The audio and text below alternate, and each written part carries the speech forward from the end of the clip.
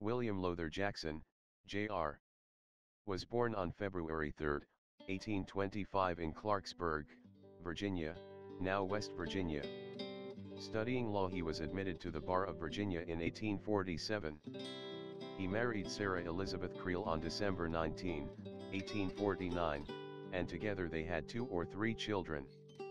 Jackson was a big man, standing about 6 feet tall and weighing about 200 pounds. He had a shock of dark red hair and piercing blue eyes like those of his famous cousin, Thomas J. Jackson. William Jackson was not known as an eloquent speaker, but he was known as a forceful one. He later became the Commonwealth's attorney for Harrison County. Entering politics he was elected into the Virginia House of Delegates two times, also serving as second auditor of the state and as superintendent of the State Library Fund. Jackson was the third lieutenant governor of Virginia. When the Civil War erupted Jackson, a proponent of slavery, resigned from his position as judge and enlisted in the Confederate States Army as a private. Recommended to General Robert E. Lee he quickly was promoted to lieutenant colonel of the 31st Virginia Infantry Regiment. Assigned to the command of General Robert S. Garnett he participated in the Western Virginia Campaign and the battles of Rich Mountain and Cheat Mountain. In July 1861, he was promoted to rank of colonel.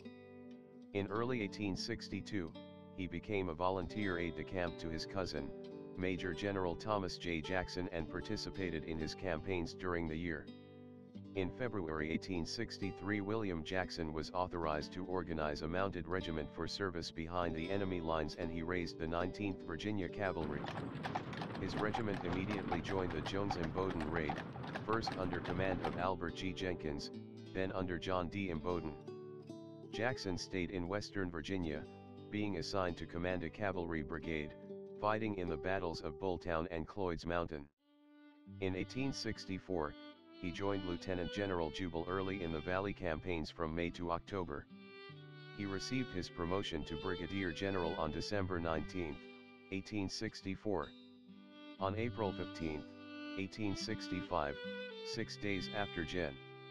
Lee surrendered the Army of Northern Virginia at Appomattox Courthouse, he disbanded his brigade. Refusing to surrender he headed westwards, finally getting a parole in Brownsville, Texas, on July 26, 1865. Temporarily immigrating to Mexico he returned to what was now Western Virginia just to learn that former Confederate officers were barred from practicing law in the state. He then moved to Louisville, Kentucky where he was allowed to resume his practice of law. Jackson became a circuit judge again and kept this position for his remaining life. He died on March 26, 1890 of Bright's disease in Louisville, and was interred there on Cave Hill Cemetery.